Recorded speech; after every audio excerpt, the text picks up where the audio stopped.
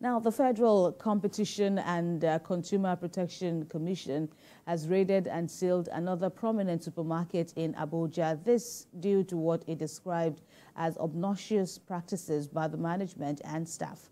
The acting executive vice chairman of the commission, Abdullahi Adamu, spoke in Abuja. TVC News, uh, Uloma Oyemachi reports. On a mission, the Consumer Protection Agency settles at their first port of call for you supermarkets in Wuse, Abuja.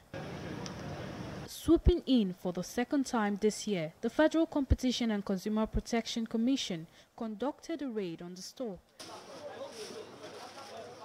Their first interest at the supermarket was price transparency, and the Commission acknowledged some level of transparency in their findings. However, a major discovery was made, and then a decision from the Commission followed. Are you aware that these companies are existing or not existing? We found out another thing that uh, really baffles us. Nobody knows that Stallion Group has been uh, comatose for a very long time. We know that there is no Caprice, yet we found Stallion and Kappa rice in this supermarket. What's happening is that this, uh, some people bag their own local rice, pretending that it is the same stallion or papa that people are used to.